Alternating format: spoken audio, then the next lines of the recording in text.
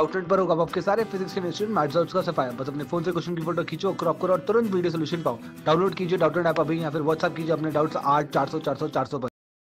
Bradix arc method cannot be used for the preparation of colloidal solve of copper, gold, silver, sodium ठीक है? जो Bredig's arc method होती है वो कौन से मेटल सॉल्व के लिए मेटल के कोलाइडल सॉल्व प्रिपेयर करने के लिए यूज़ नहीं की जाती है, ठीक है?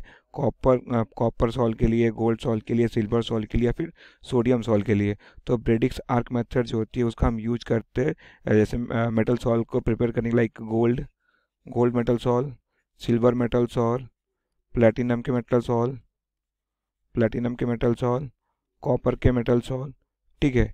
इन सब के मेटल सॉल्व को प्रिपेयर करने के लिए हम ब्रेडिक्स आर्क मेथड का यूज़ करते हैं या फिर इस, को हम क्या बोलते हैं? इलेक्ट्रिकल इसको हम इलेक्ट्रिकल डिश इंटीग्रेशन मेथड बोलते हैं ठीक है? इसको हम इलेक्ट्रिकल डिश इंटीग्रेशन मेथड भी बोलते हैं ठीक है?